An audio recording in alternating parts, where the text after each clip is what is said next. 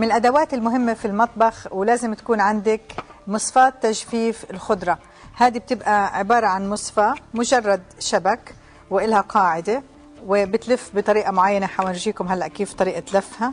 بحط فيها أي نوع من الخضرة جرجير نعناع سبانخ بقدونس خس أي شيء أنت غسلاه وحابة تجففيه بتحطيها بالطريقة هاي. ومجرد إنك بتضغطي عليها فبتصير المصفى عندي هاي تلف بسرعة وبتطرد المي.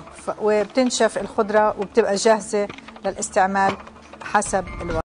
من أفضل الطرق لتجفيف الأعشاب والخضرة زي النعناع أو الملوخية أو الزعتر إنه طبعا نقطفه ونشيله عن العروق نغسله كويس نحطه في مصفى لغاية ما يتخلص من المي وبعد هيك نحطه على قطعة من الورق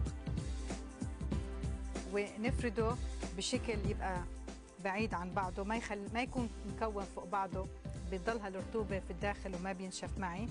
بحطه في مكان في ما بدي يتعرض للشمس مباشرة لأنه بيسود. وبعد ما تروح الشمس ممكن أدخله وأطلعه ثاني يوم إذا ما نشف 100% بعد ما ينشف عندي النعنع أو أي أوراق خضراء بحتفظ فيها بكيس قطني وأستعملها على حسب الحاجة. فضلا لا تنسوا الاشتراك بالقناة وتفعيل جرس التنبيهات.